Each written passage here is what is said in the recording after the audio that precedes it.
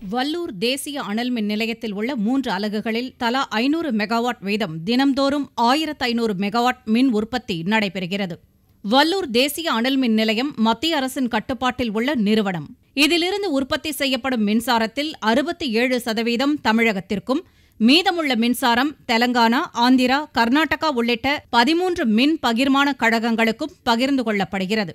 இந்நிலையில் தமிழகம் தெலங்கானா ஆந்திரா உள்ளிட்ட பதிமூன்று மின் பகிர்மான கழகங்களும் மத்திய அரசுக்கு செலுத்த வேண்டிய தொகையில் சுமார் தொள்ளாயிரம் கோடி ரூபாய் வரை நிலுவை வைத்துள்ளதாக தகவல் வெளியாகியுள்ளது.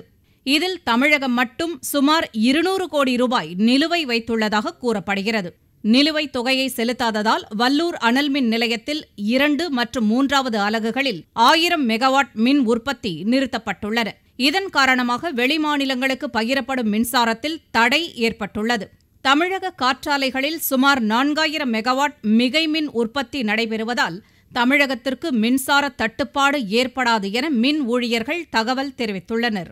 காற்றாலைகளில் மிகை மின் உற்பத்தி காரணமாக அத்திப்பட்டு வடசென்னை அனல்மின் நிலையத்தில் நிலை இரண்டில் உள்ள இரண்டு அலகுகளிலும் தலா ஐநூறு மெகாவாட் வீதம் ஆயிரத்து இருநூறு மெகாவாட் மின் உற்பத்தி நிறுத்தப்பட்டுள்ளன.